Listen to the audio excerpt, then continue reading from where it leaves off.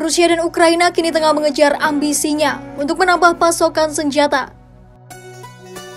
Presiden Ukraina Volodymyr Zelensky maupun Presiden Rusia Vladimir Putin sudah sama-sama menyusun strategi untuk menambah senjata yang dimiliki kedua negara.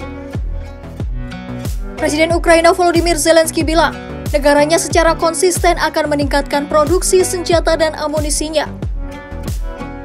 Ia pun yakin kalau industri pertahanan di negaranya masih memiliki kekuatan untuk memenuhi persenjataan dalam perang melawan Rusia.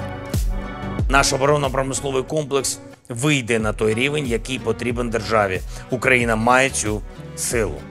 Я дякую за цю силу усім, хто працює зараз саме над українським виробництвом. Tak kalah dengan Zelensky, Presiden Rusia Vladimir Putin juga menginstruksikan pasukannya untuk meningkatkan produksi senjata berupa drone. Soalnya Putin bilang kalau drone-drone Rusia sudah menunjukkan efektivitas serangannya. Makanya semakin banyak drone yang diproduksi, Putin pun yakin kalau negaranya bakal semakin kuat dalam melakukan serangan. Ланцет очень эффективно себя показывает. Во-первых, удар мощный.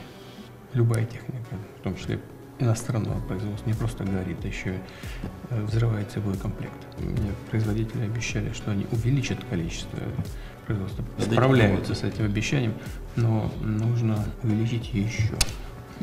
Будем работать. Да, это точно. Putin bilang, produsen Rusia memiliki peluang besar untuk menempati peluang ketika perusahaan asing meninggalkan pasar di negara tersebut.